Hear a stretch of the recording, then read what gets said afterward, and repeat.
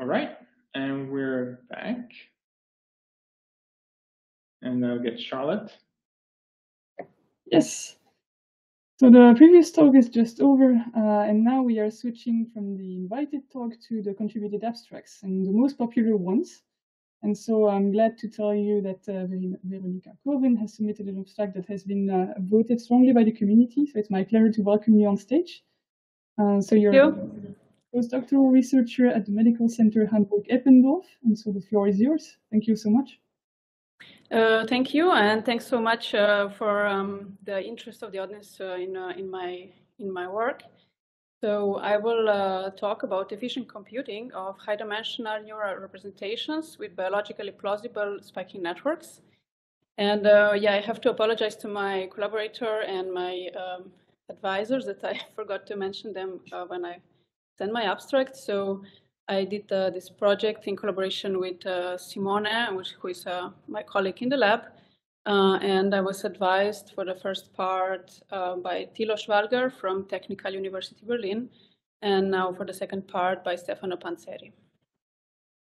So um, this uh, project is uh, um, within a bigger framework of efficient coding with spiking neural networks. Uh, this is um, a theory developed over the past maybe 10 years um, about how to model spiking dynamics from a functional perspective and using a norm normative approach, in this case, efficient coding. And uh, so there is also a line of work that cares about biological plausibility and interpretability of results in order to um, have models that are also relevant to biology. And uh, here um, we are building on uh, recent previous uh, results, um, but we focus on uh, question how does coding efficiency in, of a spiking neural network relate to neural dynamics, such as firing rates, spiking variability, or EI balance, and uh, how, um, how does coding efficiency relate to properties of uh, biological networks that can be observed. And I guess the um, underlying question that um, it's um, more like deeper uh, for and interesting in neurobiology is the question if biological networks are efficient and if they are, in what way, um, which, with what parameters, and so on. So uh, let me now just uh, uh present some concepts uh, of the model. So uh, the model would receive some stimulus. we imagine this is a feature of an external stimulus in the external world. And the the goal of the network is to compute uh, some function of this external stimulus. This would be uh, the target signal, x of t. Uh, and to do that, uh, the network would spike. Uh, whenever the neural representation uh, that we can read out from the spiking activity is, um, is far away from the target signal, um, an appropriate neuron will activate and spike to bring this um, readout closer to the target signal. So um, here um, we use um, our uh, stimulus feature. Uh, we model it as an Ornstein-Uhlenbeck process to have some biologically uh, plausible uh, input. Uh, and then we impose uh, this simple relation um, for, on the target signal. So the network would simply um, want to uh, estimate um, a low-pass filtered um, integration of the of the of the stimulus feature.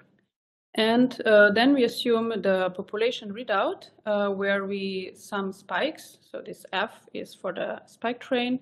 We sum spikes across neurons, uh, weighting them with uh, with weights W. And uh, again, this this linear sum will be low pass filtered. So we, um, we um, assume there can be several um, signals that can be encoded by this network. Uh, that's why we have several dimensions uh, of the stimulus uh, coming from these several features of the stimulus. Um, and in order to be able to, um, to encode this um, multitude of signals efficiently, we assign to every neuron a selectivity vector. And so you can uh, represent, we can represent this here with um, uh, with this uh, matrix of selectivity weights that um, where each neuron has a vector which describes the selectivity of this particular neuron for each one of the of the features that uh, we want to encode. So to impose efficiency, uh, we pose a loss function. This function, loss function is very simple. It just takes into account some encoding error uh, of the network and some cost on spiking. Uh, and the two quantities are weighted with the constant beta. Um, and now the excitatory population uh, will have as encoding error the square distance between the target signal and the readout of the spiking activity from excitatory neurons, while uh, the inhibitory population will um, have as an um, encoding error the distance between the two uh, readouts of the so readout of the excitatory and of the inhibitory population. And uh, then both uh, populations also have a, have a cost on spiking, which is simply a sum of low-pass filtered um, spike trains across neurons. Uh, now, similarly to previous work, we assume that there should be a spike fired only if this would uh, decrease uh, the loss function in the next time step. And um, we also add some uh, noise to this rule for biological plausibility thinking that uh, such a rule cannot really be um, exactly um, implemented in biology. Now, um, from, uh, from these simple assumptions, uh, we um, analytically uh, derive um, a neural uh, model, so a model of uh, spiking neural dynamics. And interestingly, it turns out that this model can be written as a generalized leaky integrator and fire neural model. So the yeah the model will obey this uh, subthreshold uh, dynamics of the membrane potential, where we have a leak current, then we have synaptic currents, local currents, and external currents. Um, the, as the membrane potential reaches a threshold, it, uh, the neuron spikes and resets uh, the membrane potential. And uh, we have that um, all the, all the um, all the terms in this model are, well, at the same time, they are biologically uh, interpretable, but they are also directly related to the variables uh, that we imposed as uh, in, the, in our optimization problem. So for example, the firing threshold is proportional to the length of the selectivity vector of the spiking neuron. And this is also the case of the reset, which also depends on the metabolic parameter beta. So let's have a look at the synaptic currents. Uh, so we find that synaptic currents are proportional, in case of excitatory neurons, they're proportional in a linear sum of features. And uh, we also have a term with recurrent inhibition. And the synaptic currents in inhibitory neurons uh, uh consist of recurrent excitation, recurrent inhibition. So um, very important um, rule or uh, result of, of, of this work uh, of this model is that the synaptic connection between neurons I and J is um, is proportional to the similarity of the selectivity vectors of the presynaptic and the postsynaptic neuron. So this uh, simple rule will uh, describe all uh, the strength of all synaptic connection, and this is uh, what we call the structured uh, stru structured connectivity.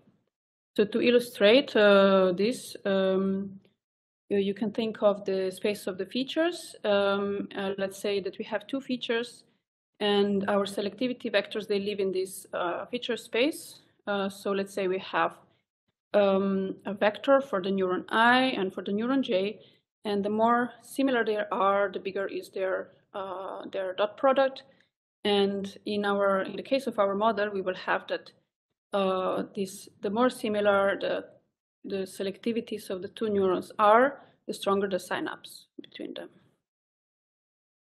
Okay, so um, we besides the synaptic currents, we also have a, local current and an external current. The local current is a spike triggered current. Uh, so when a neuron spikes, it, uh, it triggers this current to itself. And it's um, depending on the on um, these network parameters, so metabolic constant and time time constants of the of the model. And uh, we also finally have an external current, which is proportional uh, to the negative metabolic cost and this spiking, uh, so this noise that we that we assumed in the um, rule for spiking. So yeah, this uh, with this uh, we have a complete description of a spiking neural network, um, but uh, we have a bunch of free parameters uh, of the of the model. So in order to uh, constrain the model, what we do is to um, well to simulate the equations that we derived, and we measure the average error, cost, and the loss of the model. And uh, then we look for uh, parameters that minimize the loss. So here I plotted uh, the loss, uh, loss measures for um, four different parameters, uh, more as an illustration.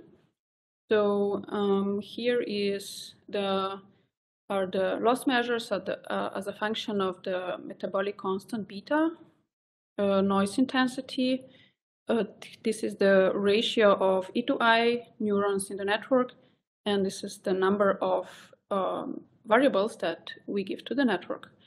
So I will maybe comment on uh, on the noise. So interestingly, uh, we see that the network prefers to have some noise in the membrane potential. Um, and this is, uh, so some noise actually decreases the root mean squared error that we measure um, at the, at the population level.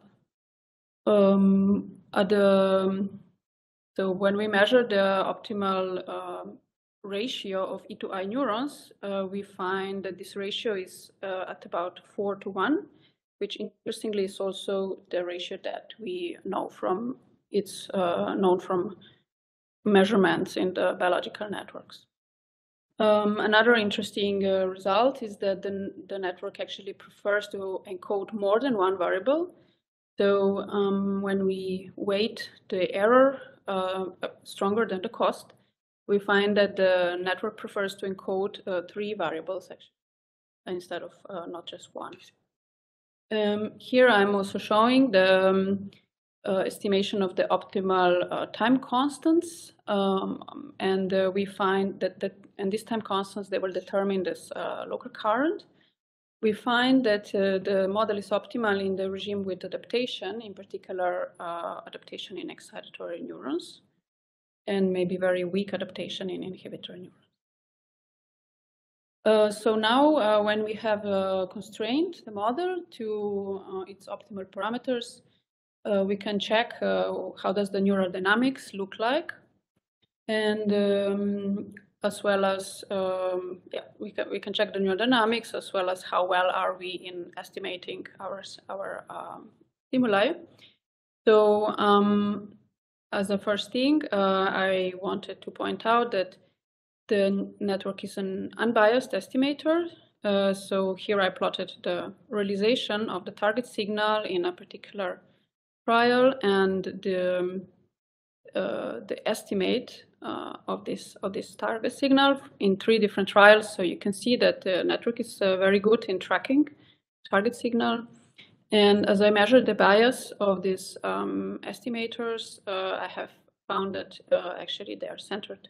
The bias is centered at zero, meaning that the yeah the estimates are actually uh, really precise.